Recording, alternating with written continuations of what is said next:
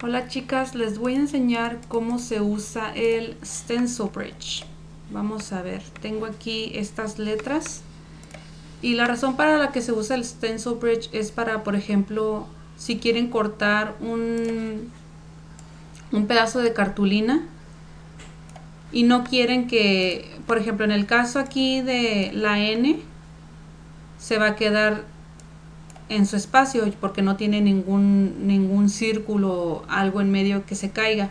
Pero, por ejemplo, como en la A, pues ahí sí se va a caer el pedazo de en medio. Entonces para eso hay que hacerles como un puentecito para que no se caigan los círculos de en medio. Voy a irme a Tools y luego voy a agarrar el Stencil Bridge. Me voy a acercar aquí a la A. Otra vez agarro el, el Stencil Bridge y luego voy a hacer clic de afuera de la letra y voy a atravesar. Déjame hago aquí refresh. Y ya vieron cómo se hizo ahí hay otra manera de hacer esto. Ahí por ejemplo para arreglar ese pedacito de aquí nada más pueden agarrar esta herramienta de que es para enderezar. Y le hacen clic y le jalan. Y ahí se puede enderezar con eso con este Ok, otra manera de hacerlo es agarrando estas tijeritas que están aquí.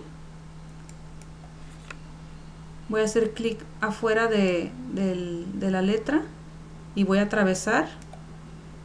Ahora voy a hacer clic otra vez y voy a atravesar otra vez.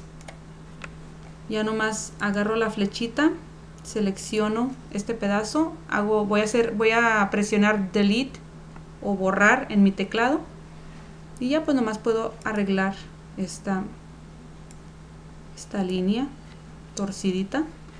Ok, entonces hay dos maneras de hacerlo, con las tijeritas estas o con el stencil bridge, que aquí está.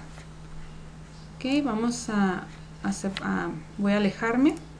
Entonces, en este caso, el, la A se va a quedar completa en esta cartulina.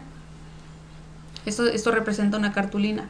La N también, pero por ejemplo aquí en la A, ese círculo se va a caer porque no existe nada que la, que la detenga. Entonces, esa es una manera de hacer este trabajo para hacer tarjetas donde ustedes quieren que se quede la, la letra o el nombre en la cartulina y no precisamente cortar el nombre para ponerlo en otra parte. Bueno, espero que les haya gustado este video pequeñito y nos vemos para la otra. Bye.